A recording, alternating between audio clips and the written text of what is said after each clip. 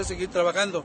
Entonces, viéndose ellos en, que la escuela de nosotros es la única en Victoria, primaria, que está trabajando, pues quisieron a la fuerza venir a cerrar sin ningún motivo, ninguna razón, porque no pertenecen a, esta escuela y pues no tienen nada que ver. Eh, estuvieron allá amedrentándonos a un servidor y a otro profe de sexto año, que fuimos los que salimos al portón, y este, ya nomás llegaron los padres de familia y el corredero de gente.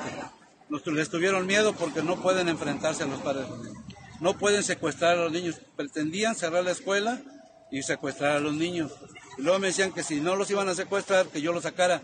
Se imagina con 530 y tantos niños, yo afuera con ellos, porque era la necesidad de ellos. Entonces, los padres de, de familia acudieron no a llevárselos, a decirles que la escuela no se va a cerrar, que la escuela va a seguir abierta, cueste lo que cueste. Si me cuesta a mí mi puesto lo que me cueste, yo no voy a dejar a los niños solos porque ese es mi trabajo.